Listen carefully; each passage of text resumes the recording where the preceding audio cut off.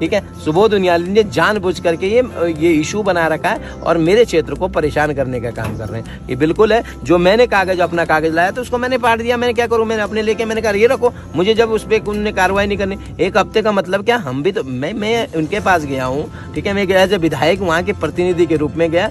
यमुनोत्री विधायक गया। उन्होंने कहा, हटाइए। लेकिन वो हटाने को राज़ी नहीं। हॉप को बुलाया यहाँ पे। हॉप कह रहा है इसको। दूसरे को किसको लाए? लेकिन उन्होंने जानबूझ के मुझे प्रताड़ित करने का काम कर रहे हैं। मुझे सिर्फ़ ओनली डराने ये सोच रहे बच्चा है ठीक है? लेकिन मैं तो जनता के लिए तो मुझे प्रतिनिधि है भैया मुझे जनता ने जो है विधायक बना के मैं सुबोध उनियाल जी ने बोला है कई बार बोला है ये। आज नहीं पहले भी बोला है। और ये जानबूझ के मुझे तो मना कर रहे कि मैंने कोई जाति झूठ बोल रहे हैं और लोग यहाँ पर है उनसे भी पूछा झूठ बोल रहे हैं। अरे भैया उनके जो चौकट होंगे क्योंकि मंत्री हो उनसे डरेंगे। क्यों? वो कौन बताएगा? कौन जवाब देगा?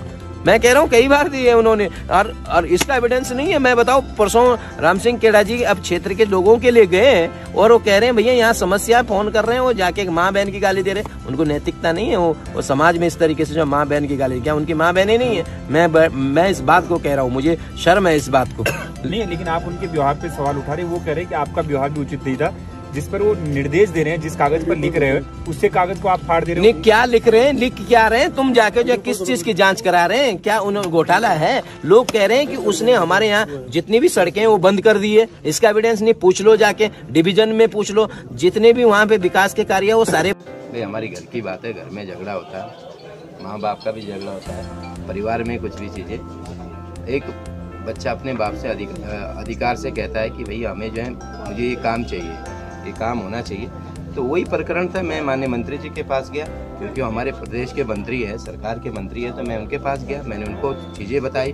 अब उन्होंने, हो सकता है उनको समझने में कोई कहीं गलती रही होगी, लेकिन चर्चा हुई कई सारी चीज़ों पे, लेकिन वो बात नहीं बनी तो उसके बाद जो है वीडियो को आखिर तक देखने के लिए धन्यवाद।